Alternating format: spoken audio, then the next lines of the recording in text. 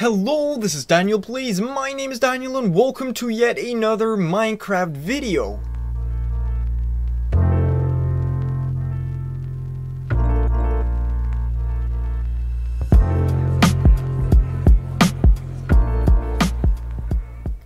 So in this video, we are going to be taking a look at the settings that you can adjust within Optifine. Now, if you don't know how to install Optifine, then make sure to watch that first video. A card to that video will pop up on the screen right now. Go click that and check out the video on how to install Optifine. It's actually really, really easy. It's updated because it's only been uploaded about a week ago, so that's really cool. And once you've got that installed, it's time for this video we are going to be taking a look at all of the settings that Optifine allows you to adjust in Minecraft. So to get started changing settings in Optifine, all we got to do is hit escape, get into options, go into video settings, and here we are. Here's the buttons that we are going to need for pretty much the entire video. So there's a couple of settings up here that I might want to talk about um, in a future video, but that's not for this video. Today we are going to be taking a look at the bottom six or the bottom five tabs here called details, animations, quality, performance, and there's one thing in the other tab that I initially thought wasn't going to be important, but now that I thought of it, it's actually pretty important. So before we get started, I want to get something out of the way that obviously if you want more FPS or are just short on FPS, make sure you disable any resource packs, any shaders that you're using, even low-end shaders, even shaders such as Waving Plants version 3.5 that I showcased in one of my uh, first videos, I think. Even that one that only makes grass and leaves wave, even that one takes FPS. So disable all shader packs, disable every resource pack that you're using. It is not true that there are resource packs that will make Minecraft run faster than vanilla Minecraft, so Minecraft without resource packs. That is a complete myth, so don't believe that. Disable any resource packs you have enabled if you're actually really in a need for FPS. So for this video, we are going to be taking a look at mainly these four tabs, details, animations, quality, and performance. And let's get straight into it. This is the details tab, and there's a couple of settings in here that can also be changed normally when just switching from graphics setting fast to fancy but that changes everything and sometimes you don't want that. So it's really cool that Optifine allows you to set these things individually, such as the clouds to either default, which is 3D now, or fast, which makes them flat, and fancy is what actually makes them 3D, and then off completely disables them. That's what I would go for if you actually need FPS. So all of the settings that I'm about to apply are of course for the best FPS. So trees, you can see here that they are transparent, which costs a little more FPS than setting them to fast. So make sure to set them to fast. As you can see, they're no longer transparent, which means you might gain 1 or 2 FPS. And now that might not sound like a whole bunch of FPS, but that's because it's not a whole bunch of FPS. But each of these settings could give you like 1 or 2 FPS, which means that at the end of the video, you might have gained like 15 to maybe 20, maybe even 30 FPS. Who knows? There was one setting that actually did the trick and made Minecraft run a lot better on your computer or laptop. So we should not disable sky because all it does is remove the blue um, and it's mainly for when you're using a resource pack that also has a custom sky and you don't want that sky that's pretty much all the settings for, so you shouldn't mess with that. Sun and moon is also not useful. Rain and snow is also not really, really important. You could set that to fast. It will make it a, a, just a tiny bit faster, I guess. So go for that if you really feel like you need that. Um, things like stars, that's not really important, but we could turn that off, show capes off. And then there's fog. That's actually one that comes with Optifine and is not there without Optifine, but once Optifine installs, it's usually set to either fast or fancy. And what we want to do is turn it off completely because it's going to cost a few FPS. This is not one of those settings that actually takes 1 or 2 FPS, but like a lot more. So now this setting also doesn't do anything anymore, so that's that's pretty good. Um, translucent blocks, set that to fast because that's the best setting you can get. Dropped items to fast. Vignette, I never know how to pronounce that, so I try to pronounce it in some southern southern European accent. I have no idea. But vignette, um, vignette, just select fancy. I mean fast. It's default fancy, and you gotta select fast. There's never a setting that's better on fancy uh, than on fast. So always select fast if there's that option. So swamp colors should turned off, should be turned off. Um, tooltips don't really do anything. Entity shadows do do things, so disable that. Alternate blocks, disable that. And smooth biomes. Oh yeah, alternate blocks is going to take some times. Some time, I'm sorry. And smooth biomes, also turn that off. So, we're back here.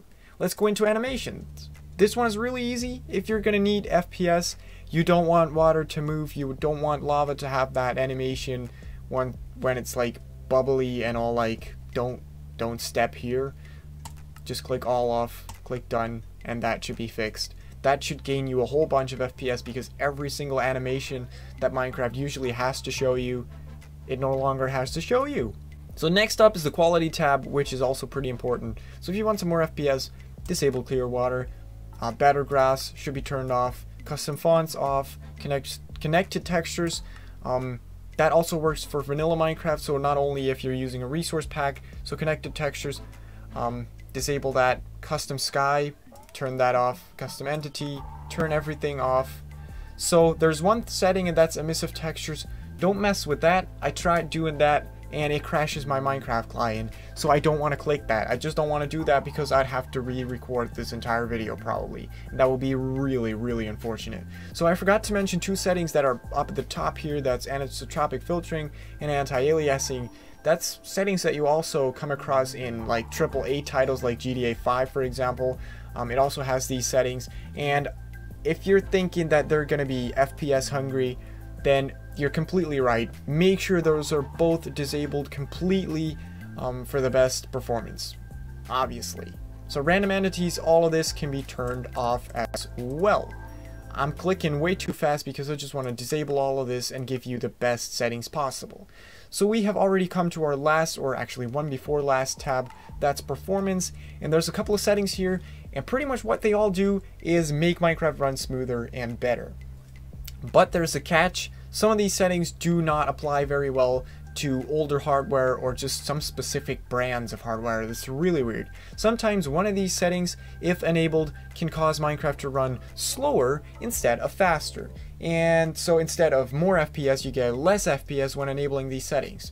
So I would suggest if you um, notice that your FPS are way lower after enabling all of these settings, I would suggest disabling all of them, setting them to off again, and then go one by one and see which one of them does that. And then just leave that one off, obviously, and enable the rest because the rest are going to do wonders for Minecraft.